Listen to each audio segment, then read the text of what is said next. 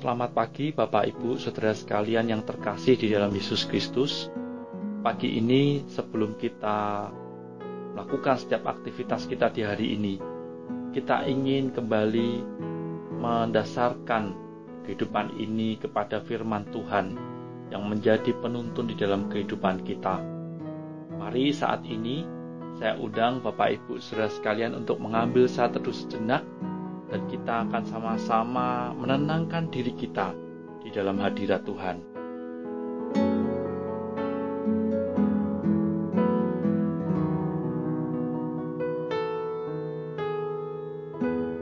Mari Bapak Ibu Saudara sekalian kita mau pujikan sebuah lagu dari KJ 453 KJ 453 yang berjudul Yesus kawan yang sejati. Dan kiranya lagu ini pun menjadi satu kerinduan di dalam diri kita bahwa kita memiliki Yesus yang selalu mengiringi langkah kehidupan kita. Mari sama-sama kita pujikan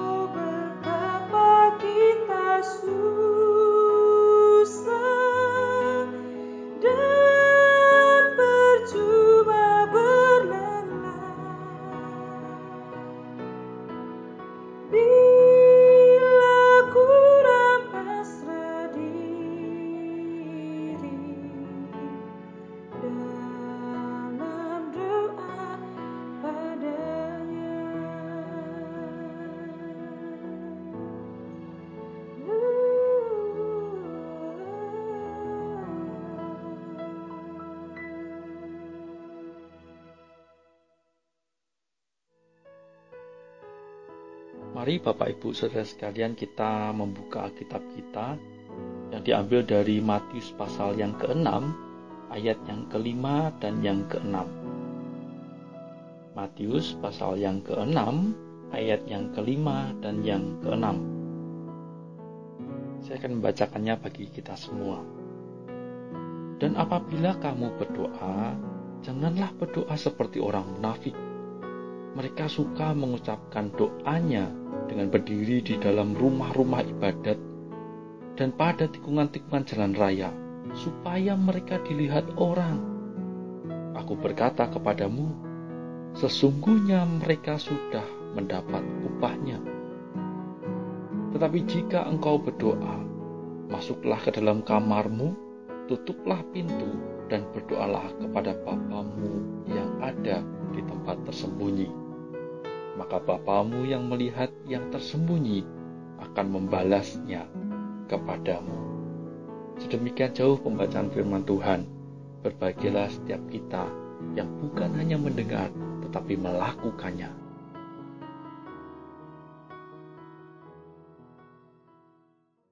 Bapak Ibu Saudara sekalian, sebuah tindakan itu lahir dari sebuah motivasi. Sebuah tindakan lahir dari sebuah motivasi. Suatu saat saya melihat sebuah pertandingan di televisi. Di pertengahan babak kedua, pertandingan itu semakin seru dan semakin panas. Lalu kemudian saya melihat salah satu pemainnya terjatuh terguling-guling sambil memegang lututnya.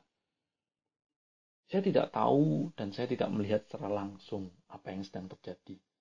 Tetapi pada saat itu sang wasit kemudian mendatangi pemain itu dan keluar dan kemudian mengeluarkan kartu kuning kepada pemain lawan. Beberapa hari kemudian setelah pertandingan itu, beredar sebuah rekaman ulang tentang peristiwa yang sebenarnya terjadi. Ternyata diketahui bahwa pemain yang terjatuh itu cuma pura-pura, Bapak Ibu. Tidak ada benturan dengan pemain lawan, apalagi terluka. Pemain itu dengan sengaja jatuh terguling-guling supaya dilihat sang wasit. Sang wasit kemudian mengeluarkan kartu kuning untuk pemain lawan. Bapak Ibu saudara sekalian, motivasi itu melahirkan tindakan. Motivasi pemain tadi adalah supaya dilihat oleh sang wasit. Tindakan yang terjadi adalah pura-pura jatuh dan terluka. Inilah yang sebenarnya terjadi di dalam diri ahli-ahli Taurat pada saat itu. Motivasi yang ada di dalam dirinya itu supaya dilihat orang lain religius. Padahal di dalam dirinya terkandung motivasi yang jahat. Ada satu kesombongan diri yang pengen ditonjolkan daripada orang lain. Bapak Ibu saudara sekalian, ahli-ahli Taurat itu mencoba menaati hukum Taurat itu dengan motivasi yang salah. Ketaatan orang-orang Farisi lahir dari sebuah motivasi yang berfokus pada kesombongan dirinya. Menaikkan diri dan merendahkan orang lain. Padahal bukan itu yang diinginkan Tuhan. Tuhan justru menginginkan kita datang kepadanya dengan ketulusan hati dan kerendahan hati, apa adanya diri kita. Mengapa sih Tuhan ingin kita datang dengan ketulus? Satu hal yang pasti dari pertanyaan ini adalah supaya kita mengakui keterbatasan diri kita dan mengakui ketidakterbatasan diri Allah. Kita mengakui bahwa diri kita ini adalah orang yang terbatas dan kita mengakui kuasa Allah yang tidak terbatas. Kita datang ke dokter karena kita tahu ada satu penyakit di dalam diri kita yang tidak bisa kita atasi. Oleh sebab itu, kita datang ke dokter, berharap dokter bisa menyembuhkan, karena kita tahu dokter lebih pintar, lebih cerdas, lebih tahu apa yang kita alami. Sama halnya ketika kita berdoa, kita datang kepada Tuhan, seharusnya dengan sebuah perasaan bahwa kita tahu Tuhan itu lebih berkuasa daripada kita. lebih hebat daripada kita, lebih berdaulat dibandingkan diri kita. Itulah sebabnya kita harus datang kepada Dia dengan ketulusan hati kita. Pernah nggak sih kita itu datang dalam hadirat Tuhan dengan hati yang sombong? Saya pikir mungkin kita akan merasa, oh saya tidak pernah datang dengan hati yang sombong. Tetapi pernahkah kita datang ke dalam hadirat Tuhan? Tidak ingin mengakui dosa-dosa kita. Tidak ingin mengakui keadaan kita sekarang. Kita mungkin merasa tersakiti, tetapi kita tidak pernah bilang kepada Tuhan. Kita mungkin merasa bahwa diri kita itu sedang susah, memiliki pergumulan, tetapi kita tidak mau datang kepada Tuhan dan tidak mau mengatakan itu kepada Tuhan. Bapak Ibu saudara sekalian, ini adalah sebuah tindakan yang sebenarnya sama saja dengan sebuah kesombongan. Tuhan tahu kok bahwa kita ini adalah manusia yang terbatas. Tuhan tahu kok bahwa kita tidak akan bisa hidup tanpa dirinya. Tetapi Tuhan pengen kita sebagai anak-anaknya itu datang kepada Bapa yang di surga. Menceritakan seluruh kehidupan kita. Menceritakan seluruh aktivitas kita, kesalahan kita bahkan, pergumulan kita kepada Tuhan. Bapak Ibu saudara sekalian, setiap dari kita pernah menjadi seorang anak, bukan? Dulu waktu saya menjadi seorang anak, sekarang masih Bapak Ibu ya menjadi seorang anak.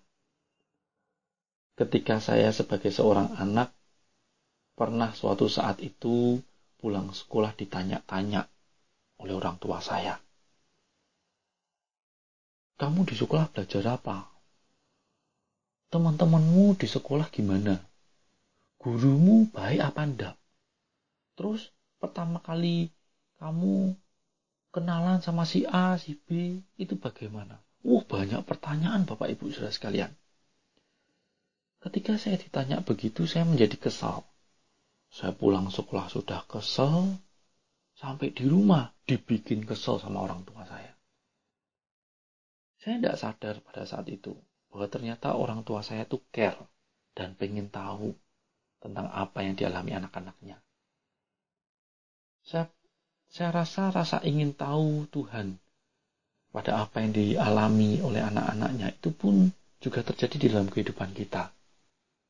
Tuhan pengen tahu kok. Bukan Tuhan tidak tahu. Tuhan tahu. Tetapi ketika sang anak itu datang kepada bapaknya, kemudian menceritakan segala aktivitasnya, menceritakan setiap kegagalannya, itu bukankah sang bapak akan menjadi suka? bukankah sang bapak itu akan bahagia ketika mendengarkannya? Saya pikir itulah yang terjadi kepada Allah kita. Ketika kita menceritakan setiap keluh kesah kita, menceritakan setiap kebaikan Tuhan yang kita rasakan melalui doa-doa kita. Bapak Ibu Saudara sekalian, kiranya kita menjadikan kehidupan doa kita menjadi kehidupan yang tulus di hadapan Tuhan. Mari kita menjadikan kehidupan doa kita, kehidupan yang bukan menjadi sarana untuk menyombongkan diri kita, tetapi justru sebaliknya, dengan rendah hati, dengan rasa berserah, kita datang ke dalam hadirat Tuhan. Mari saat ini Bapak Ibu saudara sekalian saya memberikan waktu kepada kita semua untuk tenang sejenak di hadapan Tuhan. Sebelum kita mendoakan setiap doa-doa syafaat kita, mari kita tundukkan kepala.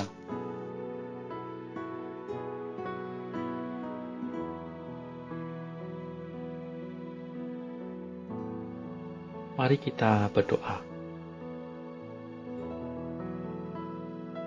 Tuhan terima kasih untuk kesempatan pada hari ini kami boleh kembali datang ke dalam hadiratmu. Terima kasih untuk pagi yang cerah, bahkan firman-Mu yang boleh sekali lagi menguatkan kami, meneguhkan kami.